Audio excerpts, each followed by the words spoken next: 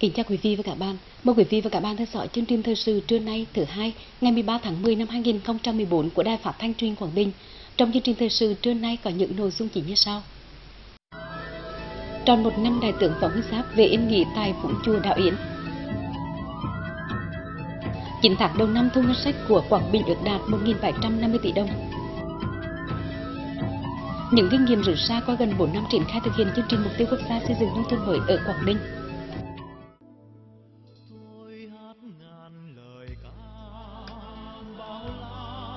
Chủ tịch Hồ Chí Minh đi vào cõi vĩnh hằng, để lại cho toàn đảng, toàn dân, toàn quân ta một bản di chúc thiêng liêng.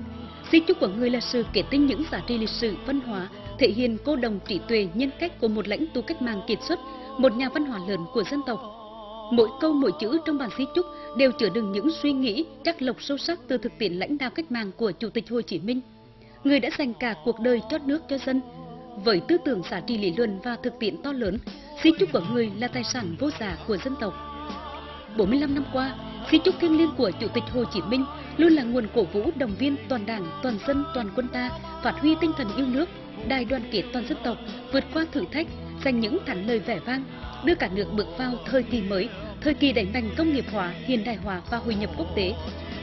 Kỷ niệm 45 năm thực hiện di chúc của Chủ tịch Hồ Chí Minh là một dịp để chúng ta tiếp tục ôn lại lời căn dặn tâm huyết cuối cùng của lãnh tụ kính yêu, anh hùng dân tộc, danh nhân văn hóa thế giới trước lúc đi xa.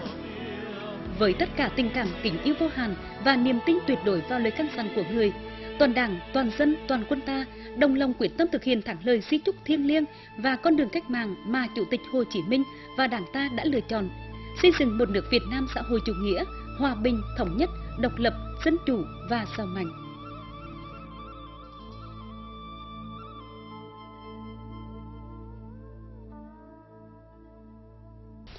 Thưa quý vị và các bạn, hôm nay ngày 13 tháng 10, tròn một năm Đại tướng Võ Nguyên Giáp về yên nghỉ tại Vũng Chùa, đảo Yến. Từ đó đến nay, đã có hơn 116.000 đoàn khách trong và ngoài nước với hơn 1,3 triệu lượt người về dân hương và viếng mộ đại tướng. Trung bình mỗi ngày có hơn 4.000 lượt người.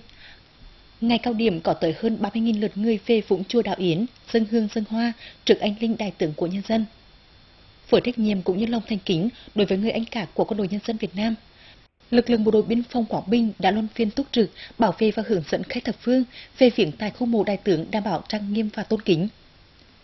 Căn nhà lưu niệm của đại tướng ở làng An Xã, xã Lộc Thủy, huyện Lệ Thủy, nơi gắn liền với tuổi thơ của đại tướng, cũng thường xuyên có các đoàn khách trong và ngoài nước đến thắp hương và viếng thăm. Một năm kể từ ngày đại tướng Võ Nguyên Giáp về yên nghỉ tại đất mẹ Quảng Bình, toàn thể nhân dân Việt Nam nói chung và Quảng Bình nói riêng vẫn luôn hưởng về đại tướng với tấm lòng thanh kính và thiêng liêng nhất. Sáng nay ngày 13 tháng 10, Đảng ủy khối các cơ quan tỉnh đã tổ chức hội nghị quán triệt chỉ thị số 36 CTTU của Bộ Chính trị và triển khai công tác đại hội đảng cả cấp tiến tới Đại hội đại biểu toàn quốc lần thứ 12 của Đảng. Tại hội nghị, đại diện lãnh đạo đảng ủy khối các cơ quan tỉnh đã quán triệt chỉ thị số 36 của Bộ Chính trị về Đại hội Đảng bộ cả cấp tiến tới Đại hội 12 của Đảng. Theo đó, chỉ thị 36 đã nêu rõ yêu cầu nhiệm vụ cần tập trung thực hiện trong công tác chuẩn bị và tổ chức đại hội đảng bộ cả cấp bao gồm nội dung đại hội, công tác chuẩn bị văn kiện đại hội và tổ chức thảo luận các dự thảo văn kiện, công tác chuẩn bị nhân sự và bầu cử cấp ủy, số lượng đại biểu dự đại hội và việc bầu cử đại biểu dự đại hội đảng bộ cấp trên, thời gian tiến hành đại hội đảng bộ cả cấp, việc sắp xếp bố trí cán bộ sau đại hội và chỉ đạo triển khai thực hiện. Theo kế hoạch của đảng ủy khối các cơ quan tỉnh, đại hội các chi bộ đảng bộ bộ phận trực thuộc phải hoàn thành trong tháng 3 năm 2015, đại hội các đảng bộ chi bộ cơ sở hoàn thành trong tháng 6 năm 2015 và đại hội đại biểu đảng bộ khối hoàn thành vào tháng 8 năm 2015. Đảng ủy khối các cơ quan tỉnh cũng yêu cầu quá trình chuẩn bị và tổ chức đại hội đảng bộ cả cấp trong khối phải theo đúng quy trình nguyên tắc của đảng, phát huy dân chủ, tăng cường đoàn kết, thiết thực, an toàn. Công đoàn cơ sở Trung tâm Giáo dục dạy nghề Đồng Hới đã tổ chức đại hội lần thứ nhất nhiệm kỳ 2014-2017. Thời gian qua, dưới sự lãnh đạo trực tiếp của cấp ủy đảng, sự chỉ đạo của Liên đoàn Lao động thành phố Đồng Hới, hoạt động của công đoàn cơ sở Trung tâm Giáo dục sài nghề Đồng Hới đã đạt được những kết quả đáng ghi nhận. Các phong trào thi đua, các cuộc vận động lớn sông ngành phát động đều được cán bộ đoàn viên hưởng ứng tích cực, đem lại hiệu quả thiết thực. Nổi bật là cuộc vận động dân chủ kỷ cương, tình thương trách nhiệm, phong trào giải tốt học tốt, xây dựng trường học thân thiện, học sinh tích cực. Mỗi thầy cô giáo là một tấm gương đạo đức tự học và sáng tạo. gắn với việc học tập và làm theo tấm gương đạo đức Hồ Chí Minh năm 2014. Qua đó nhận thức chính trị của mỗi cán bộ đoàn viên được nâng cao, chất lượng giáo dục ngày càng đáp ứng yêu cầu nhiệm vụ đề ra. Bên cạnh đó, công tác chăm lo bảo vệ quyền và lợi ích hợp pháp chính đáng của cán bộ đoàn viên và lao động được quan tâm. Cả chế độ về bảo hiểm xã hội, bảo hiểm y tế được thực hiện đầy đủ, tiền lương và tiền ngoài giờ được chi trả kịp thời, đảm bảo đúng quy định của pháp luật. Đại hội đã bầu ban chấp hành nhiệm kỳ 2014-2017. Cộng đồng dân tộc Bru Vân Kiều sinh sống chủ yếu ở các tỉnh Trung Trung Bộ. Ngôn ngữ Bru Vân Kiều thuộc nhóm Ca Tu, nhánh các ngôn ngữ Môn, Khmer, Hề ngữ Nam Á. Lâu nay, việc tra cứu giảng dạy tiếng Bru Vân Kiều chủ yếu dựa vào các tài liệu in ấn. Trung tâm Công nghệ Thông tin và Truyền thông Quảng Bình vừa hoàn thành đề tài nghiên cứu xây dựng từ điển điện tử phương ngữ Bru Vân Kiều Việt. Đây là từ điển điện tử phương ngữ Bru Vân Kiều Việt đầu tiên ở nước ta. Được sự đồng ý của Ủy ban Nhân dân tỉnh Quảng Bình, tháng 3 năm 2013, Trung tâm Công nghệ Thông tin và Truyền thông Quảng Bình triển khai xây dựng đề án từ điển điện tử phương ngữ Bru Vân Kiều Việt nhằm đáp ứng nhu cầu tra cứu và sử dụng ngôn ngữ của dân tộc Bru Vân Kiều trong đời sống xã hội.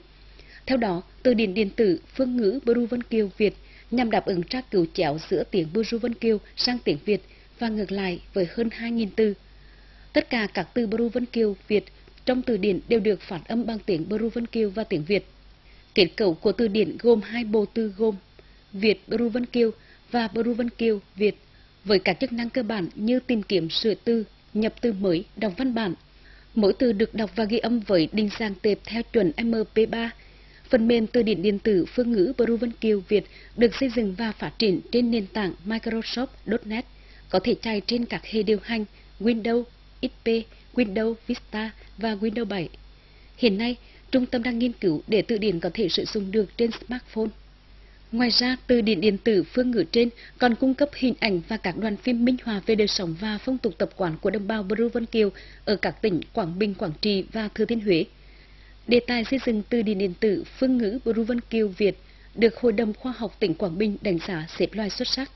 Đây là công cụ hữu ích giúp cho cán bộ viên chức, nhà khoa học và nhân dân có thể tra cứu để sử dụng hoặc tìm hiểu về ngôn ngữ cũng như văn hóa của đồng bào dân tộc Bru Vân Kiều.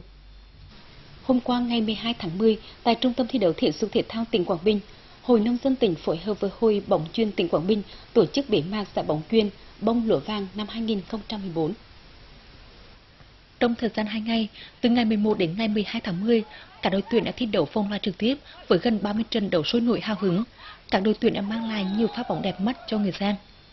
Giải bóng chuyền bóng lúa vàng năm 2014 được tổ chức nhân kỷ niệm 84 năm ngày thành lập Hội Nông dân Việt Nam 14 tháng 10 năm 1930, 14 tháng 10 năm 2014.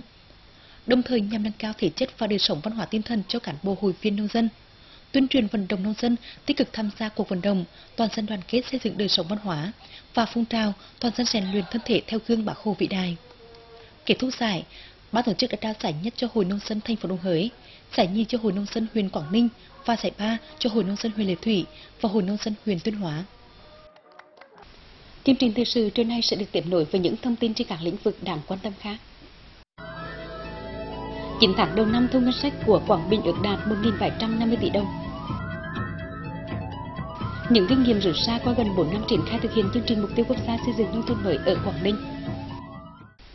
Trong 9 tháng đầu năm 2014, nhờ thực hiện đồng bộ các giải pháp tập trung thu ngân sách, nên đến thời điểm này, tổng thu ngân sách của Quảng Bình ước đạt 1.750 tỷ đồng, tăng 26% so với cùng kỳ.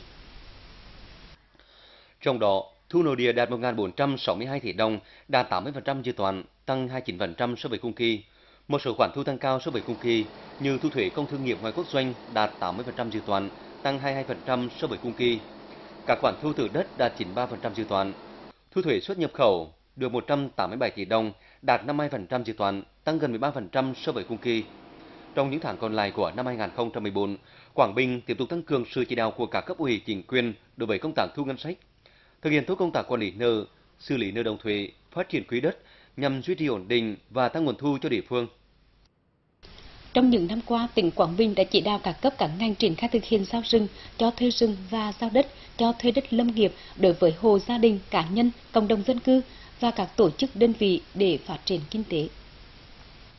Tỉnh Quảng Bình hiện có trên 648.000 ha đất lâm nghiệp, trong đó đất rừng trên 555.000 ha, đất chưa có rừng hơn 92.000 ha.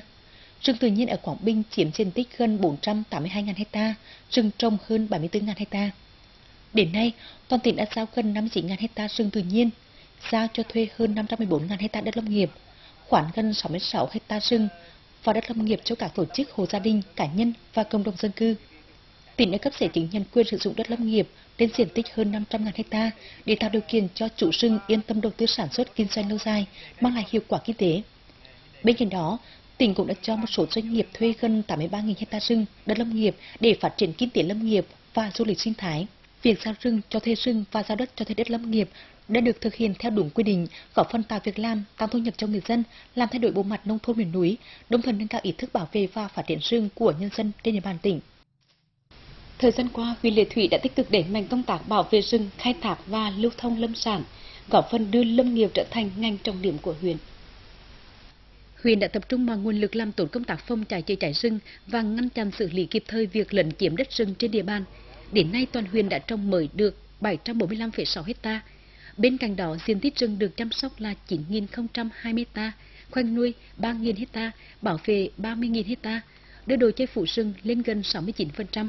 Sự ước sản lượng gỗ khai thác 30.286 mét khối và nhựa thông đạt trên 890 tấn. Nhờ thực hiện có hiệu quả các chính sách hỗ trợ giá giống và hướng dẫn kỹ thuật phát triển lâm nghiệp tại địa phương, hiện nay nghề trồng rừng ở huyện Lệ Thủy đã trở thành một nghề mang lại nguồn thu nhập ổn định cho bà con nông dân. Thực hiện chương trình trồng cây vụ đông của huyện, hiện nay cả địa phương trên địa bàn huyện Quảng Trạch đã tích cực vận động bà con nông dân đưa các loài cây rau màu vào trồng trên các chân ruộng khô ráo. Với phương châm thu hoạch lúa hè thu tới đâu, tiến hành trồng cây vụ đông tới đó, Phòng Nông nghiệp và Phát triển Nông thôn huyện Quảng Trạch, Trạm khuyến nông đã tích cực hướng dẫn các địa phương đưa số diện tích chân ruộng cao vào trồng các loài cây vụ đông như khoai lang, ngô, rau màu các loại để tăng thêm thu nhập kinh tế gia đình. Đến nay, các địa phương đã trồng được 210 hecta khoai lang, 35 hecta rau màu các loại. Bà con nông dân đang tích cực chuẩn bị trồng 70 hecta ngô. Các địa phương có diện tích trồng cây vụ đông cao như xã Quảng Xuân, Quảng Tùng, Quảng Phú, Quảng Hợp, Quảng Châu, Quảng Phương, Quảng Lưu. Để khuyến khích bà con nông dân trồng cây vụ đông, huyện Quảng Trạch đã quyết định hỗ trợ giống ngô nếp và các loài giống rau cho bà con nông dân. Theo kế hoạch từ nay đến cuối tháng 10 năm 2014, huyện Quảng Trạch sẽ hoàn thành việc gieo trồng cây vụ đông. Thưa quý vị và các bạn, với những cách làm linh hoạt, phát huy được vai trò chủ thể của người dân và sự chỉ đạo điều hành quyết liệt của cấp ủy chính quyền địa phương, nên đến nay, chương trình mục tiêu quốc gia xây dựng nông thôn mới ở huyện Quảng Ninh đã đạt được những kết quả đáng khích lệ. Quảng Ninh đang hoàn thành các tiêu chí xây dựng nông thôn mới theo đúng lộ trình đã đề ra. Phóng sự sau đề cập đến những cách làm hiệu quả của Quảng Ninh qua gần 4 năm triển khai thực hiện chương trình mục tiêu quốc gia xây dựng nông thôn mới. Những năm trở lại đây, Quảng Ninh là một trong những địa phương đi đầu của tỉnh Quảng Bình trong triển khai thực hiện chủ trương xây dựng tám cột vật chất trong nông nghiệp, nông thôn, đó là đông, đồi, điền, đường, xưởng, trường, tràm chợ. Nên trong quá trình thực hiện chương trình mục tiêu quốc gia về xây dựng nông thôn mới giai đoạn 2011-2015, Quảng Ninh đã có những tiền đề cơ bản làm nền tảng để triển khai thực hiện theo 19 tiêu chí mà chương trình đã đề ra. Mục tiêu phấn đấu của huyện Quảng Ninh đến năm 2015 sẽ có 4 xã đạt các tiêu chí về xây dựng nông thôn mới, gồm xã Vĩnh Ninh, Lương Ninh, Phọ Ninh và Xuân Ninh. Để đạt được mục tiêu đề ra, ngay từ đầu, huyện Quảng Ninh đã chủ động xây dựng hướng đi cụ thể, sát với tình hình thực tế của địa phương.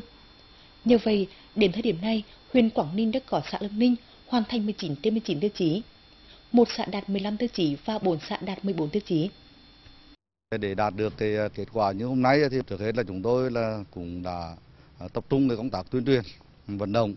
để tạo cái sự đồng thuận lớn nhất trong đảng bộ từ đảng bộ cho đến chính quyền và toàn thể mặt trận đoàn thể rồi đến nhân dân về cái công tác phát triển cơ sở hạ tầng kinh tế xã hội ấy, thì chúng tôi cũng tập trung là à, bàn bạc rất kỹ Ờ, đồng thời là triển khai là ờ, họp dân và các cái ban phát triển thôn để rồi là thực hiện rồi, ờ, bàn bạc xây dựng phương án từ chỗ là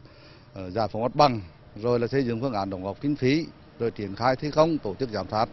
chất lượng công trình. Do cái chỗ là thực hiện tốt công tác công khai dân chủ. Do vậy thì chúng tôi là được cái tạo được cái sự đồng thuận của nhân dân hưởng rất cao. Với cách làm sáng tạo linh hoạt xã Lăng Ninh đã hoàn thành 19 trên 19 tiêu chí xây dựng nông thôn mới Hiện nay, huyện Quảng Ninh đang quyết liệt chỉ đạo các xã như Vĩnh Ninh, Hiền Ninh, Võ Ninh, Xuân Ninh, Hàm Ninh gấp rút triển khai các tiêu chí trên đàn để hoàn thành chương trình mục tiêu quốc gia xây dựng nông thôn mới trong năm 2015. Với phương châm vừa làm vừa rút kinh nghiệm, huyện Quảng Ninh đã và đang triển khai một cách có hiệu quả chương trình mục tiêu quốc gia xây dựng nông thôn mới. Phong trào xây dựng nông thôn mới nó đã đi vào tiềm thức của toàn dân. Nói rằng là cả hệ thống chính trị đã vào cuộc và đã làm được nhiều việc. À, đặc biệt cho đến hôm nay thì, thì à, tại Quảng Ninh là có một xã đã hoàn thành cái chương trình mục tiêu 19 tiêu chí đó là xã Lương Ninh. Năm 25 ấy, thì cũng đang phấn đấu cố gắng là hoàn thành ừ, từ 3 đến 4 xã đạt 19 tiêu chí. À, được cái kết quả trên ấy, thì chúng tôi cũng xác định trong à, hơn 3 năm qua thì chúng tôi cũng đã tập trung một số việc chủ yếu cụ thể là tập trung ờ, tuyên truyền động viên nhân dân. Và nhân dân hiểu rõ là cái chương trình này là chương trình này là của dân dân biết, dân bàn, dân làm, dân hưởng lợi. À, cho nên là phải nói là người, được người dân hưởng rất cao. Cho đến thời điểm này, huyện Quảng Ninh vẫn đang nỗ lực phấn đấu triển khai thực hiện các tiêu chí trong xây dựng nông thôn mới theo hướng thực chất hiệu quả. Với mong muốn thông qua chương trình sẽ thay đổi căn bản bộ mặt nông thôn theo hướng hiện đại. Dự báo thời tiết Quảng Bình đưa vào chiều nay ngày 13 tháng 10, khu vực miền núi nhiều mây có mưa, mưa rào và rông vài nơi, gió tây bắc cấp 2 cấp 3, nhiệt độ 21 đến 27 độ. Khu vực đồng bằng ven biển nhiều mây có mưa, mưa rào và rông vài nơi, gió nhẹ, nhiệt độ 21 đến 28 độ. Khu vực thành phố Đồng Hới nhiều mây có mưa, mưa rào và rông vài nơi, gió nhẹ, nhiệt độ 21 đến 28 độ. Vùng biển có mưa vài nơi, tầm nhìn xa trên 10 km, gió đông bắc cấp 5, có lúc cấp 6, biển động nhẹ, sóng biển cao từ 2 đến 3 mét.